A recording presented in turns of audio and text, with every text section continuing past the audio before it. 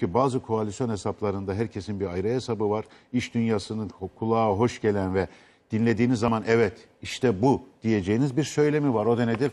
Güçlü partiler bir araya gelsin kardeşim. Bunlarda hiç erken seçime bile gerek yok. Devam edip gitsinler. Ne paradan yapsınlar? para kazanalım. AK Parti ile CHP'nin güçlü iktidarı. Şimdi iş dünyası böyle diyor da hangi iş dünyası?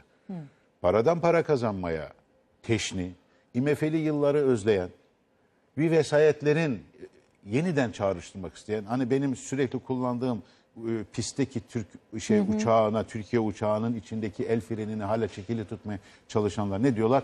Derviş mutlaka ekonomi ondan sorumlusun. CHP hatta Kılıçdaroğlu mümkünse başbakan olsun eyvallah.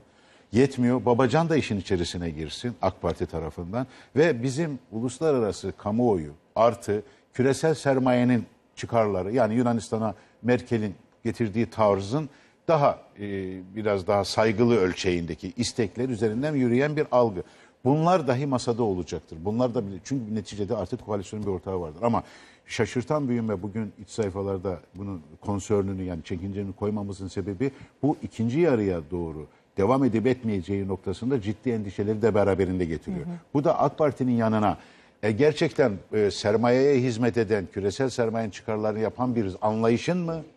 ve dağıtıcı bir ekonominin ya da olanı dağıtma noktasındaki zihin yapısı olan seçim e, beyannamelerinde ya da AK Parti gibi zaten pastayı büyütmeye olan e, zihniyetin devamına hizmet edecek ve ortada az önce de e, konuşmamda söyledim ki güçlü Türkiye ihtiyacı ortadan kalkmamıştır.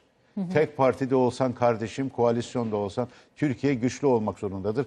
Büyüme bununla ilgili olarak güzel, hala umut veriyor ama şimdi ikinci yarı ve sonraya doğru endişelerimiz var. Bu endişelerin giderilmesi için o paketlerin, o atılan adımların o hız kesmemek için patinajdan bizi çıkaracak Cumhurbaşkanı da diyor ya patinaj yapıyoruz. Oradan bizi çıkaracak olan projelerin aksamadan hatta hızlanarak sürebilmesi için koalisyon şartları içerisinde yeni bir anlayışa ihtiyaç var.